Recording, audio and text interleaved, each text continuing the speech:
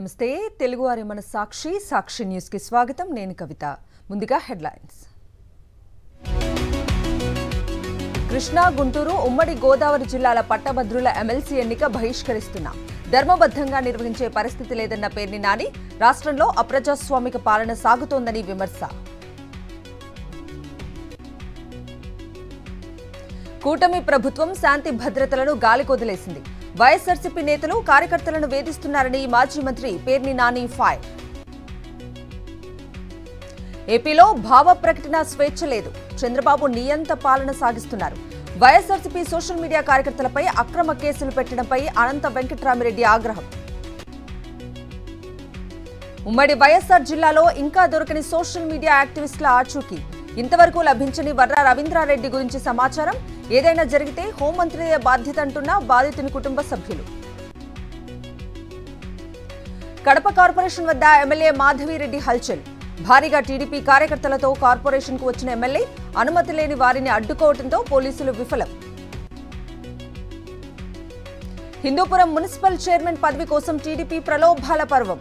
MLA Balakrishna డైరెక్షన్లో వైఎస్ఆర్సీపీ కౌన్సిలర్లకు ఎరా ఇప్పటిదాకా పన్నెండు మందిని కొనుగోలు చేసిన టీడీపీ. తెలంగాణ హైకోర్టులో మార్గదర్శి కేసు విచారణ. డిసెంబర్ ఇరవై లోపు కౌంటర్లు వేయాలని ఆర్బీఐ తరఫు లాయర్కు ఆదేశం తదుపరి విచారణ జనవరి మూడుకు వాయిదా. పార్టీ మారిన ఎమ్మెల్యేలపై దాఖలైన అప్పీలుపై తెలంగాణ హైకోర్టులో విచారణ. సింగిల్ జడ్జ్ తీర్పును సవాలు చేసిన అసెంబ్లీ కార్యదర్శి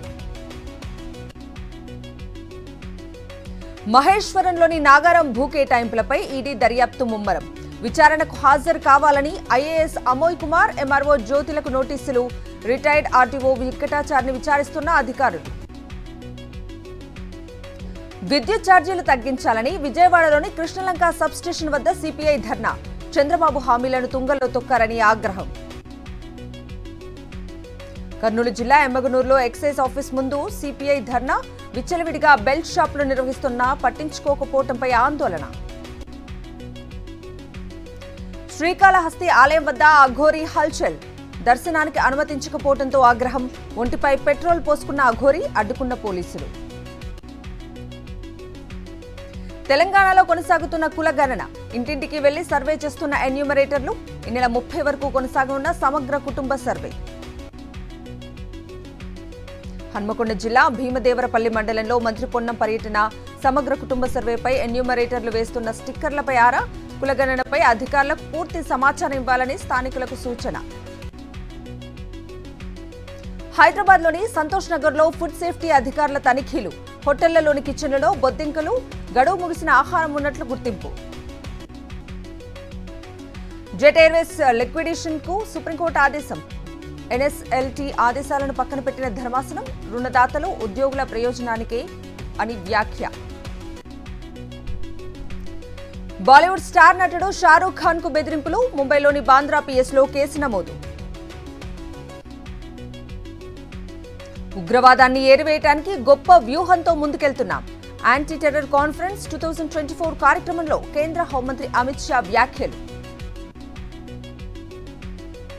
జమ్మూ కాశ్మీర్ అసెంబ్లీలో ఆర్టికల్ త్రీ సెవెంటీపై రగడ. అధికార విపక్షాల మధ్య వాగ్వాదం ఇరు వర్గాల తోపులాట. ఇంజనీర్ రషీద్ సోదరుడు ఖుర్షీద్ అహ్మద్ బ్యానర్ ప్రదర్శించడంతో రాజుకున్న వివాదం. మహారాష్ట్ర ఎన్నికల సందర్భంగా మేనిఫెస్టో విడుదల చేసిన ఉద్దవ్ ఠాక్రే అబ్బాయిలకు ఉచిత విద్య అందిస్తామని హామీ ధరలను నియంత్రించడంతో పాటు ధారావి పునరాభివృద్ధి ప్రాజెక్టు రద్దు చేస్తామని ప్రకటన. ఢిల్లీలో క్షీణిస్తోన్న గాలి నాణ్యత. పంట వ్యర్థాలు దహనం చేస్తే రెట్టింపు జరిమానా నిబంధనలు సవరించిన కేంద్రం. కాలుష్యపు కోరల్లో కొట్టుమిట్టాడుతున్న యమునా నది. విషపు నురుగలు కక్కుతూ ప్రమాదకరంగా మారిన రివర్. టొరంటోలో కన్సులర్ క్యాంపులు రద్దు చేసిన భారత్.